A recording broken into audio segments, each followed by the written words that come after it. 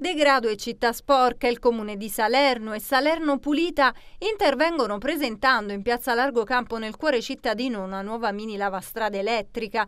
Nei prossimi giorni arriverà anche una mini spazzatrice e la risposta alle tante richieste dei residenti del centro storico. È una risposta innanzitutto alle giuste lamentele degli abitanti del, del centro storico che sono spesso vittime anche di vandalismi da parte di queste bande diciamo, di ragazzini. Questo non significa insomma, trascurare la zona orientale, anche perché noi stiamo approvando un piano di investimenti che preveda insomma, lavastrade elettriche e spazzatrici elettriche anche di dimensioni più importanti, con le quali saranno fatte meglio in maniera più efficiente anche le strade della zona orientale, di Maricondo, di Pastena, di Torrione, diciamo del centro in generale. Credo che daremo un'ulteriore spinta alla pulizia delle strade. Il sindaco Napoli ha annunciato anche più attenzione al decoro cittadino e di aver sollecitato l'ASL mettendo in campo una sinergia per debellare topi e blatte che invadono i quartieri. Sono stato contattato